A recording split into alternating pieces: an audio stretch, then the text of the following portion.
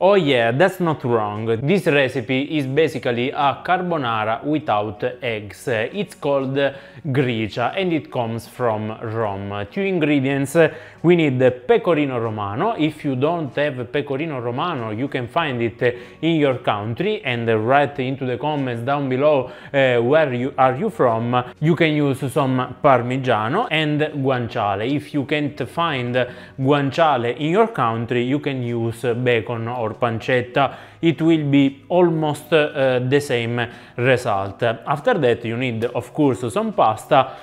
Please choose a good quality pasta and at the end some black pepper. Use a freshly ground black pepper which is the best and it will give more flavors. First of all you need to treat your guanciale. Remove the outer part the skin. Here we have some pepper and uh, the skin which is not so good you see uh, into this piece of guanciale you have also some mold no matter at all just remove it and you can use it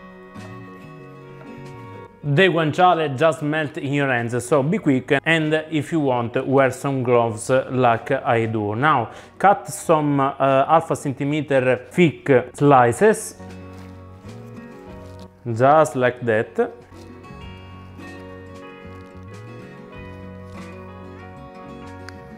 And we will use just two of them this is only for myself this is a very easy recipe. It's basically a cacio e pepe where you add your guanciale toasted before. So it's basically a carbonara without eggs. So follow me into the instruction and as always you can find all the exact amount of ingredients in the description down below. If you haven't yet, please subscribe to this channel to support my work.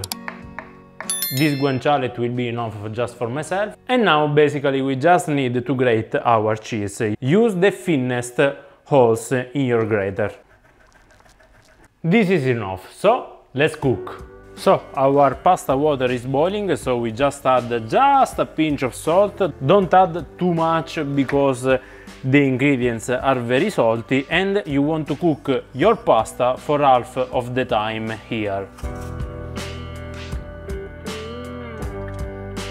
Don't break your spaghetti because Italians will get mad. Now throw your guanciale into the pan. This is just the sound that you want to hear. The guanciale doesn't have to burn, it just have to render slowly.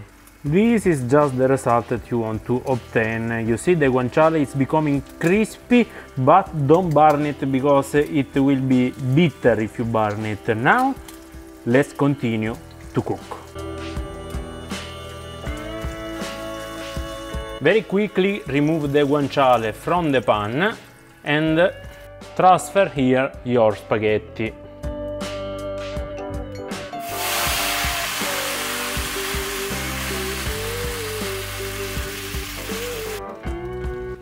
Add some water when you need it.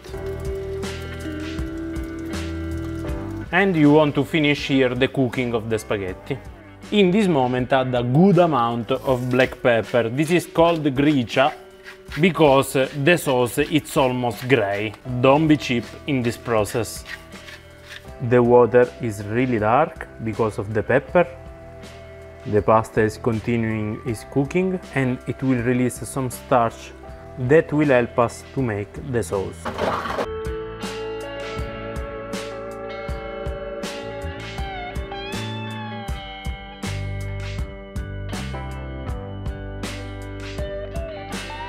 Now the pasta is cooked al dente, shut off the fire and let it cool down for almost 30 to 45 seconds. You need to lower the temperature before to add the cheese. Now it's time to add the cheese like it's snowing. And also our guanciale. Whisk it well and let the magic happen.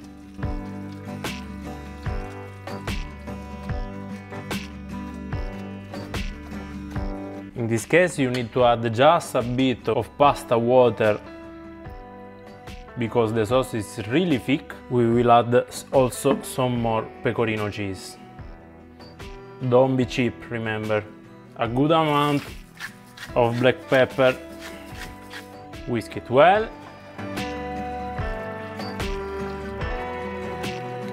And this is our gricia. Look at this, look at the sauce, look at the creaminess, look at the guanciale. Let's put it in a dish and let's taste it.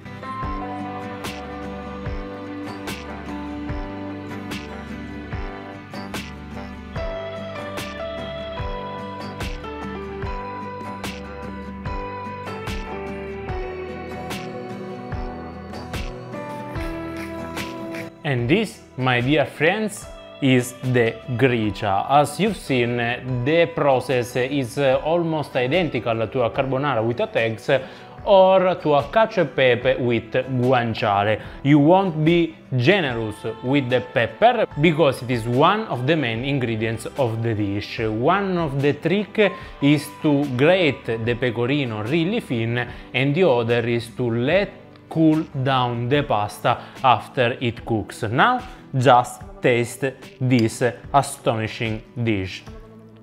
Just take a good chunk of guanciale, a bit of that pecorino. Look how creamy, smooth, delicious this is and buon appetito!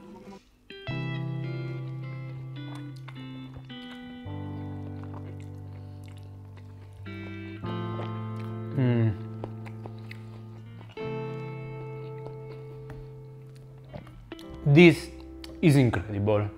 It's salty, so you have to be very careful with the salt into the water but if you use the right amount of ingredients you can definitely feel the kick of the black pepper but it's also very balanced. It is more delicate in some ways than a cacio e pepe and more delicate also than carbonara if you think it has also less calories than carbonara because you don't add eggs. It's a very cool dish, very particular, maybe it's not so well known uh, outside Italy, but it's part of our tradition. Now I will finish to eat this astonishing dish. Buon appetito, subscribe to my channel. Ciao!